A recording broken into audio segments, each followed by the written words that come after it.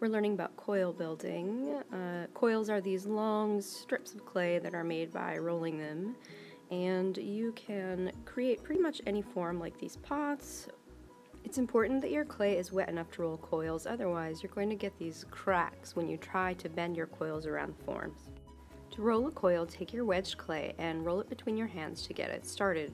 Once it's too long for your hands, then you can lay it on the table, keeping my hands parallel to the table instead of going up and down.